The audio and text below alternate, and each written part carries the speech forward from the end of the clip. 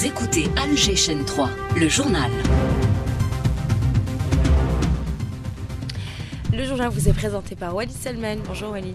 Bonjour Soraya, mesdames, messieurs, bonjour. Et au sommaire de la matinale de ce vendredi 13 décembre, la tournée africaine du chef de la diplomatie en qualité d'envoyé spécial du président de la République. Ahmed Attaf est arrivé hier soir à Kampala, la capitale ougandaise. Plus tôt dans la journée, il avait été reçu à Bujumbura par le président du Burundi, Ahmed Attaf, qui a reçu également un appel téléphonique de son homologue jordanien à l'ordre du jour la situation en Syrie. L'importance du secteur de la santé dans la prise en charge des personnels militaires, de la couverture médicale des citoyens, particulièrement au niveau des zones frontalières du Grand Sud, soulignée par le ministre délégué auprès du ministre de la Défense, chef d'état-major de l'AMP. Le général d'armée Saïd Chingri a présidé hier la réunion annuelle des cadres de la santé militaire. Les politiques publiques en matière de soutien aux catégories vulnérables socialement évoquées à l'Assemblée populaire nationale, séance de questions orales sur lesquelles nous reviendrons dans cette édition. Les dirigeants des pays du G7 qui se réunissent en visioconférence ce vendredi pour examiner la situation en Syrie. La Jordanie annonce également la tenue samedi d'un sommet consacré toujours à la Syrie, réunissant ministres et hauts diplomates américains, européens, arabes et turcs. Et puis nous parlerons dans cette édition également euh, de l'inscription du patrimoine immatériel algérien à l'UNESCO, une œuvre de longue haleine et sur laquelle reviendra à la fin de cette édition Soraya Roslana. Le monde du football endeuillé après le décès de l'entraîneur Youssef Bouzidi. Mesdames, Messieurs, bonjour. En qualité d'envoyé spécial du président de la République, le chef de la diplomatie Hadataf est arrivé hier soir à Kampala, la capitale ougandaise, pour une visite officielle. Le ministre d'État sera reçu par le président Yoweri Museveni, à qui il remettra une lettre du président Abdelajit Boun. Cette visite s'inscrit dans le cadre des efforts communs visant à promouvoir les relations bilatérales privilégiées. Ahmed Attaf aura également une séance de travail avec son homologue ougandais. Plus tôt dans la journée, le ministre des Affaires étrangères avait été reçu à Bujumbura par le président du Burundi, auquel il a un message écrit du président de la République. La rencontre a permis d'examiner les moyens à même de concrétiser la volonté commune des deux dirigeants, à savoir insuffler une nouvelle dynamique à la coopération bilatérale et de renforcer la coordination conjointe au sein de l'organisation continentale Ahmed Attaf. J'ai eu à m'acquitter de lui remettre une lettre écrite de son frère, le président Abdelmajid Tebboune. Et dans cette lettre, l'objectif reste pour l'Algérie, comme le Burundi, à la lumière de ce que m'on a dit son Excellence le président de la République burundaise, le développement de nos relations bilatérales est la meilleure manière de servir le continent africain dans la conjoncture internationale particulièrement troublée par laquelle nos pays passent et par laquelle le système des relations internationales passe actuellement. Pour ce qui concerne nos relations bilatérales, je peux vous dire qu'il y a une détermination partagée, une volonté politique partagée de donner un nouveau dynamisme, une substance plus grande à ces relations bilatérales et nous sommes convenus de certaines mesures et de certaines échéances pour ce faire. Ahmed Attaf qui a eu hier soir un entretien également téléphonique avec le vice-premier ministre, ministre des Affaires étrangères de Jordanie, Ayman Safadi. Les deux parties ont échangé les points de vue sur les développements de la situation en Syrie, notamment sur les moyens et perspectives d'une action visant à soutenir les frères syriens, à rassembler les rangs et à préserver l'unité de leur pays, l'intégrité de ces territoires, ainsi qu'à mettre un terme aux attaques opportunistes et flagrantes de l'entité sioniste ciblant sa souveraineté, la situation en, euh, Syrie, euh, une situation sur laquelle nous reviendrons un peu plus tard dans cette édition. L'importance du secteur de la santé dans la prise en charge médicale des personnels militaires et de la couverture médicale des citoyens, particulièrement au niveau des zones frontalières du Grand Sud, soulignée par le ministre délégué auprès du ministre de la Défense, chef d'état-major de l'ANP. Le général d'armée Saïd Chingriha a présidé hier la réunion annuelle des cadres de la santé. Saïd Chingriha. Nous considérons le secteur de la santé militaire comme étant une partie intégrante des potentialités du corps de bataille. Nous veillons à ce qu'il en soit un des facteurs importants de renforcement de la disponibilité de nos potentiels humains pour accomplir pleinement les missions qui leur sont assignées en toutes circonstances. Assurer une bonne prise en charge médicale de nos personnels militaires à travers l'ensemble des régions militaires et contribuer à la couverture médicale de nos concitoyens, notamment au niveau des zones frontalières du Grand Sud, constitue une mission capitale à travers laquelle nous œuvrons à la concrétisation de la sécurité sanitaire de notre armée et de notre pays. Allocution du général d'armée Saïd Chingriha suivi par les cadres et les personnels de la santé militaire à travers les six régions militaires du pays. En application des instructions du président de la République, le ministre de l'Agriculture Youssef Shorfa a installé hier la commission nationale chargée de la relance de la production de viande rouge à travers le développement de l'élevage national. Ses missions ont étudié les propositions et modalités de relance de l'élevage, notamment les cheptels ovins et bovins et les mesures à prendre pour protéger cette richesse, augmenter la production et réduire les importations durant les deux prochaines semaines, ses membres devant élaborer une feuille de route à discuter avant la présentation au gouvernement pour approbation. Un chiffre à retenir ce matin, 60 milliards de dinars alloués à la restauration scolaire en 2024, chiffre avancé par le ministre de l'Intérieur. Brahim Red a fait état également de l'ouverture de 99% des cantines scolaires au niveau national au début de l'année scolaire en cours. Les politiques publiques en matière de soutien aux catégories vulnérables socialement justement évoquées à l'Assemblée populaire nationale, la ministre de la Solidarité de la Famille ainsi que le ministre du Travail ont répondu hier aux questions des parlementaires Hakima Kamal. Soria Mouloudji, ministre de la Solidarité de la Famille, a affirmé que les programmes de distribution de médicaments gratuits seraient renforcés prochainement. Le ministre du Travail et de la Sécurité sociale a expliqué que la retraite anticipée, quant à lui, été encadrée par des conditions légales, tandis que la retraite proportionnelle a été abandonnée. Il a ajouté que l'État rembourse plus de 1000 DCI, dénomination commune internationale, pour les assurés sociaux, un chiffre supérieur aux normes mondiales.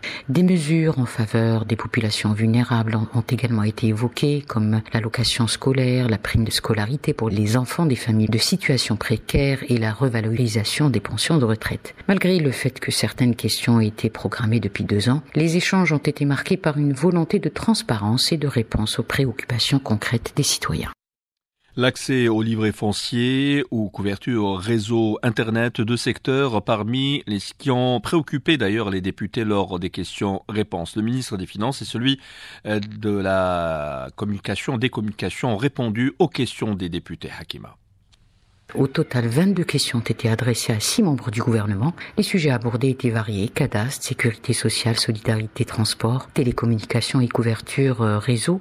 Les parlementaires n'ont pas ménagé leurs efforts pour mettre les ministres face à leurs responsabilités, multipliant les arguments et les chiffres pour appuyer leurs interrogations. Certains ont même exhorté les membres de l'exécutif à se reconnecter au terrain et à la réalité des statistiques. Principaux thèmes abordés, cadastre et livret foncier. Les députés ont insisté sur la problématique de l'accès au livret foncier la gestion des terrains agricoles et constructibles. Le ministre d'Aziz Faïd, ministre des Finances, a souligné que la modernisation et la numérisation des services cadastraux restent les clés pour accélérer et simplifier les traitements des demandes des citoyens. Dans les domaines des télécommunications, le ministre des Postes et Télécommunications a annoncé que 1400 stations universelles permettent désormais l'accès à la 3G dans des zones jusque-là non couvertes. Cependant, il a reconnu que des investissements massifs restent nécessaires pour améliorer la couverture réseau tout en précisant que 85% de la population bénéficie déjà de la 4G.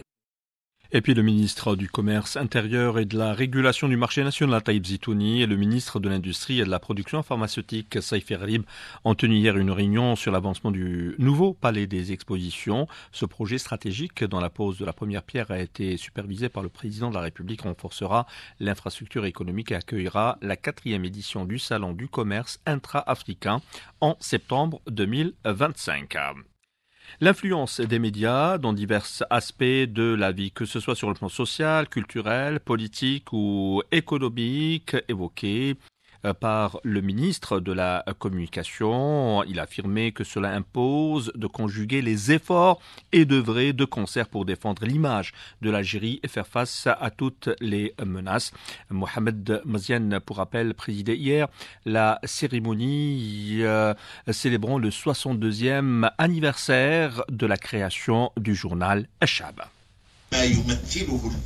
Compte tenu de ce que représentent les médias en termes d'encadrement et d'orientation des différentes étapes de la vie, nous sommes obligés d'intensifier nos efforts et de travailler ensemble pour défendre l'image de l'Algérie. Le développement des peuples et des sociétés ne pourra se réaliser s'il n'est pas accompagné par des médias objectifs, forts et précis, des médias professionnels et responsables qui respectent les règles du métier et qui répondent aux exigences du citoyen. C'était Mohamed Mzia, le ministre de la Communication. Cette cérémonie s'est déroulée en présence, je vous le rappelle, du chargé de mission auprès de la présidence de la République, Ibrahim Sedour, et directeur d'organes de presse et d'établissements du secteur. Il est 8h10 minutes sur les ondes d'Alger, chaîne 3. La question en Syrie, les dirigeants des pays du G7 se réunissent en vision-conférence ce vendredi pour examiner la situation en Syrie. Ce sommet avait été convoqué avant la chute de Bachar al-Assad et prévu initialement pour la passation de la présidence tournante du groupe. Après une visite du secrétaire d'État américain Anthony Blinken, la Jordanie a annoncé la tenue pour ce samedi d'un sommet consacré à la Syrie, réunissant ministres et hauts responsables, diplomates euh, américains, européens, arabes et turcs sur le terrain. Les exactions sionistes se poursuivent à Gaza, mais également avec des incursions en Cisjordanie euh, occupée. Un drone de l'armée sioniste a ciblé par ailleurs le chirurgien orthopédiste palestinien Saad Jouda, entraînant sa mort en martyr alors qu'il se rendait à l'hôpital El Aouda dans le nord de la bande de Gaza depuis l'hôpital Kamel Adwan afin de soigner des patients. L'annonce a été faite par le ministre palestinien de la euh, santé.